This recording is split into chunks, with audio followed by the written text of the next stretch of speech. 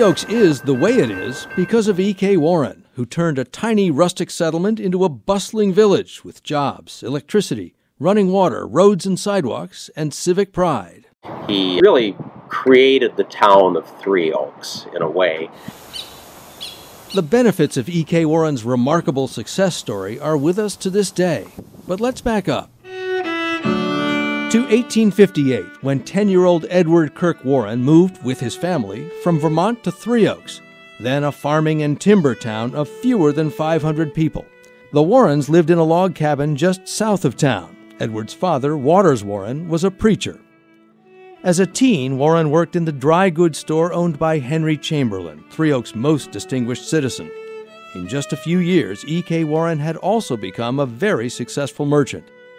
But in 1882, he had an idea that changed his life and life in the region of Three Oaks.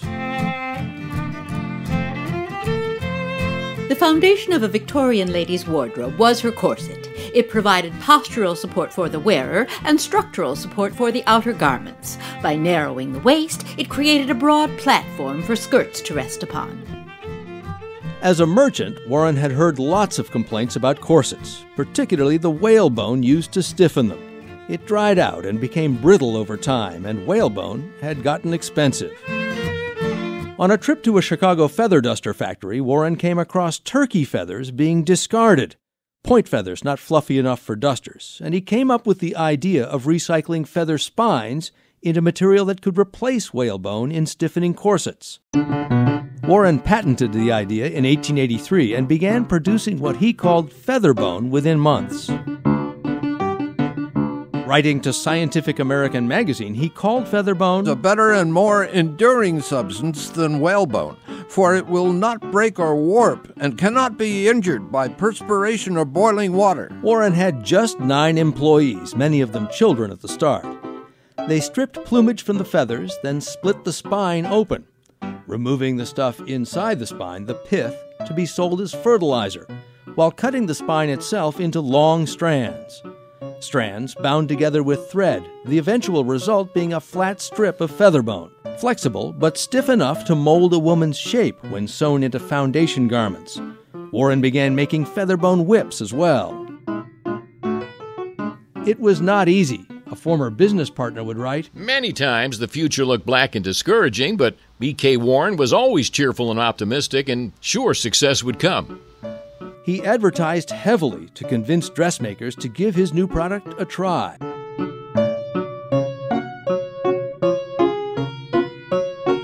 Eventually, success came. Warren told his housekeeper he made 50 cents every time the clock ticked. Three Oaks experienced a featherbone boom. Featherbone buildings sprang up year after year, and Warren factory jobs brought people actually the working conditions at Warren Featherbone were quite good, and the pay was, for that time, was really uh, fairly generous. Three Oaks' population nearly doubled between 1880 and 1890. Housing grew scarce. According to an 1893 account, the rapid development of the industry cannot keep pace with the steadily increasing demand for featherbone for use in dress stays and corsets, and there is no doubt that it will eventually be employed in scores of widely diverse articles requiring a reliable elastic material. Warren came up with ways dressmakers could use his product from head to toe. Featherbone became a fashion watchword advertised in national women's magazines. Featherbone salons sprang up in major cities in the U.S. and across the globe, where fashion conscious women and dressmakers could learn about Featherbone's benefits. This one on Broadway in New York. The building is still there today. While guiding his business from idea to worldwide enterprise, E.K. Warren was also bringing Three Oaks, now a company town, his company town, into the new century. There was a big broad streak of paternalism in E.K. Warren, so he did try to control, uh, in a benevolent way, I think, a lot of Three Oaks. He owned the bank, he bought the newspaper, and he operated farms and stores. You know, he was our great big father in the community, wrote one resident. He loved Three Oaks as a child and nursed and championed everything she undertook. In 1896, when Warren was village president, he put electric lights on his factory and offices, trying to persuade voters to approve money for a municipal power plant. The Featherbone Company owned Three Oaks Press wrote, It is a sample of what the whole town can have if the voters of the place so choose. The voters so chose. The power lines went up. Warren, owner of one of the area's first cars, led successful efforts to build better roads and sidewalks and to build a water system for the village. Though even as he urged running water, he advocated making Three Oaks dry. The town had but one saloon, but E.K. Warren, guided by his religion and conviction that his workers would be better off without access to alcohol, led a campaign to ban liquor sales in town. In the end, his money carried the day. Three Oaks shuttered its only saloon in 1896 after Warren agreed to pay $250 to the village treasury to make up for lost saloon license revenue. Not everyone in town was happy about it. The Three Oaks Acorn newspaper would write His stand on the liquor question brought him many personal enemies, as well as much abuse and humiliation.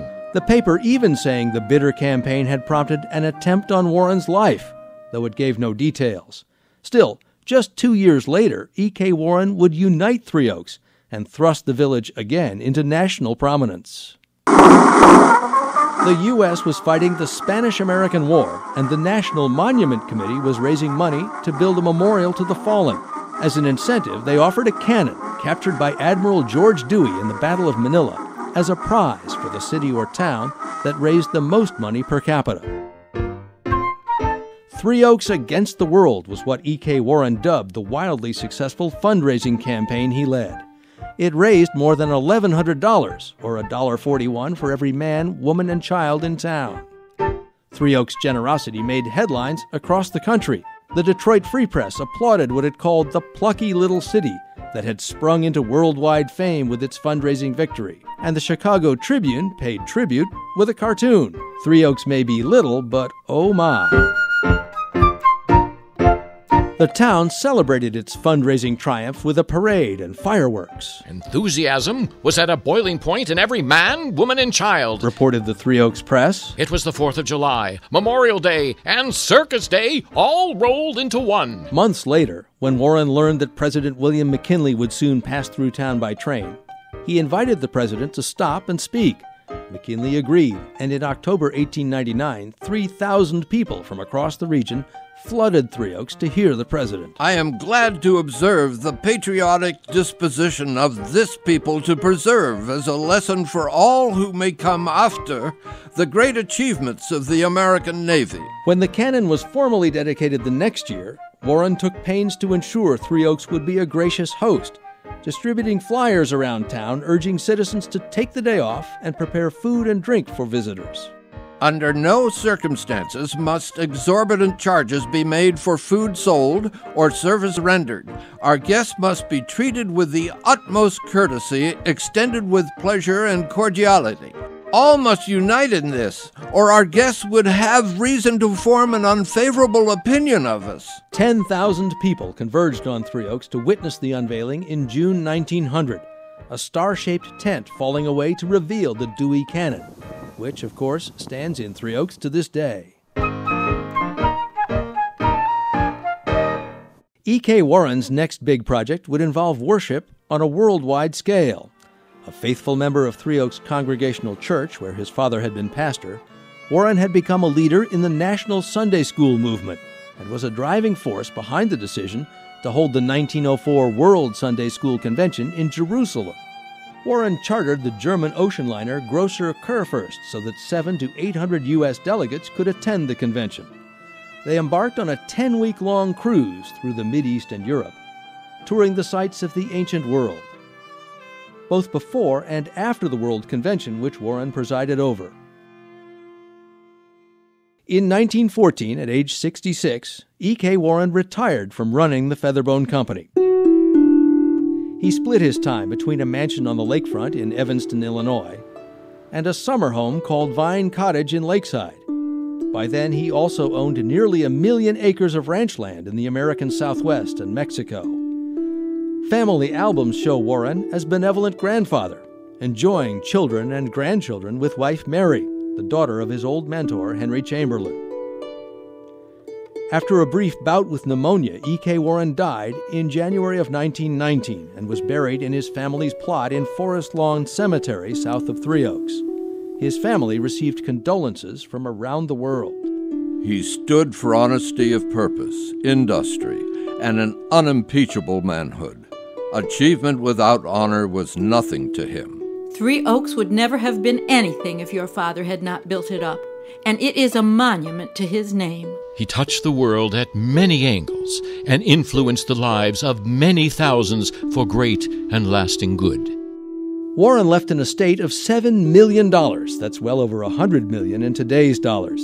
In his will, he said he wanted the company that bore his name to remain in Three Oaks. But that company, built on sales of buggy whips and corsets, would have to adapt to survive. E.K. Warren's great grandson, Gus Whalen, joked his family's company followed Native American wisdom. The Dakota Indians have a saying if the horse is dead, dismount. The Featherbone Company dismounted nimbly when whips and corsets went out of style. Warren production lines switched to making sewing notions, and then plastic baby pants and shower caps and children's clothing. Featherbone Company factories employed people in Three Oaks for decades after E.K. Warren's death. The company finally packed up and left Three Oaks for Georgia in 1956. But much of the old Featherbone complex survived, having been put to other uses a century after E.K. Warren put it in place. Warren left significant natural legacies in this area, too. Warren Woods, 311 acres of virgin forest just north of Three Oaks, is now a state park, as is Warren Dunes, nearly 2,000 acres of extraordinary lakeshore dune lands near Bridgman. It draws nearly a million visitors a year. So E.K. Warren, the man who once brought modern times to Frontier Three Oaks, also has ensured that a bit of what used to be is still there for us.